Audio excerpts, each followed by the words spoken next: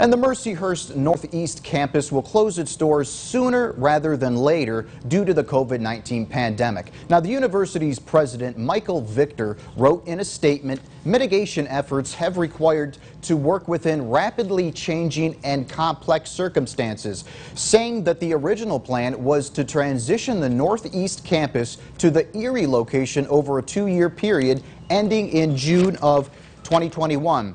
By the fall semester, most academic, residential, and administrative operations at North East will relocate to Erie except for our allied health, nursing, biology, and municipal police programs. Now, Victor saying in a statement, quote, we do not anticipate any interruption to our current North East students' education. They will be given the opportunity to fulfill their degree requirements on the main campus where tuition, room and board and financial aid will be honored at North East rates.